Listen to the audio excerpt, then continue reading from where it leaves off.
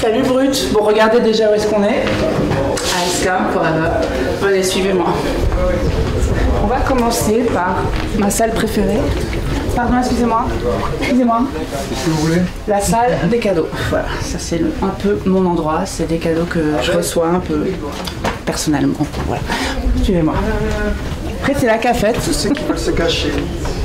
Bah, allez, allez, hein. C'est- 10% c'est, pas un truc de mollasson. Bah, la cafette, enfin voilà, fêté des choses, mais on ne vous dira pas quoi. Il y a eu peut-être des anniversaires, peut-être des décès. Voilà, suivez-moi. Ça, c'est un peu. Ouais, je l'ai. Là où tout se passe, c'est le bureau d'Hervé, c'est-à-dire c'est mon bureau. Voilà, c'est là où enfin, tous les projets se font et se défont. Voilà. Faites le tour sans moi.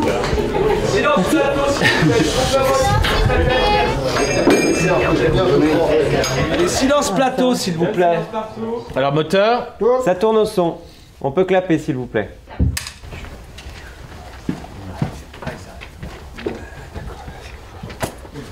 C'est pas sa date de naissance. Mais parce que c'est écrit Star comme Star Media.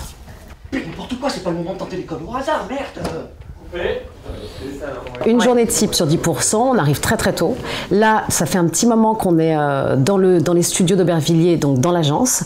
Euh, donc on arrive, on se fait maquiller, on se fait coiffer, on se fait habiller. Et ensuite, euh, il y a un truc qui est assez drôle sur ce tournage spécifiquement, c'est qu'on a affaire à deux réalisateurs. Donc on peut passer de l'un à l'autre, euh, vu que c'est pas tourné dans la continuité. On peut, dans la même journée, tourner un peu du 2 passer au 4, faire du 5, revenir au 1. Donc euh, effectivement, il faut quand même que euh, dans nos têtes à nous, ce soit très clair sur le parcours du personnage euh, et que ce soit pas confusant de se dire bon ok alors, j'en suis où moi là dans les épisodes? Donc oui, il y a quand même il y a être, à être clair sur toute l'infrastructure du personnage avec les autres.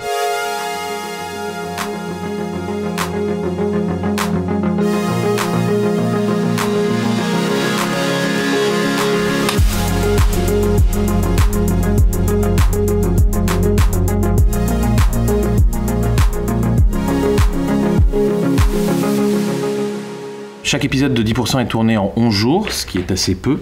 Et en 11 jours, voilà, on doit euh, trouver des astuces pour euh, tourner vite et bien surtout.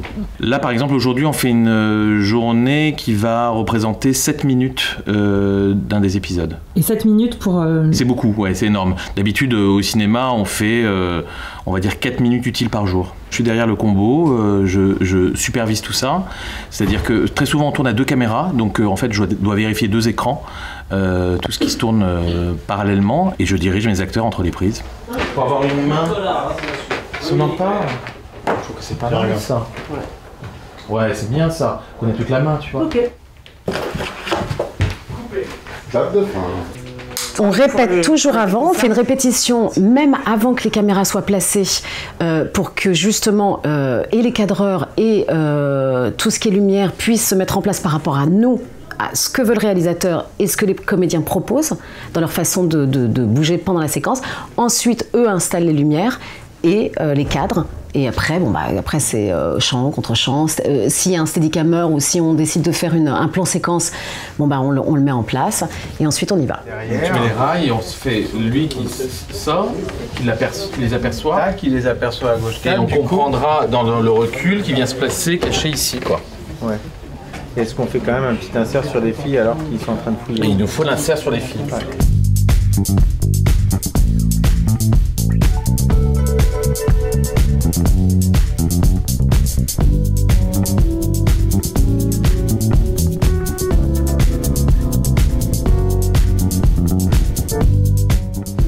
Quoi euh, Presque il faudrait. En fait, ici, il faudrait décontraster un peu. Ça fait avec euh, du tungstène au plafond, un truc comme ça.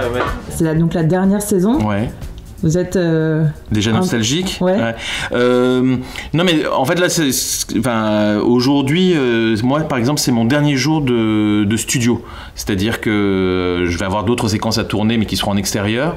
Donc voilà, ça va me faire forcément bizarre ce soir de me dire que ce décor, je ne le connaîtrai plus, puisque en plus de ça, il va être réellement détruit et les meubles revendus. Sur la précédente saison, par exemple, du fait que le décor n'était pas déconstruit, on, on- on- on espérait forcément une saison suivante. Là, on- les choses sont très claires.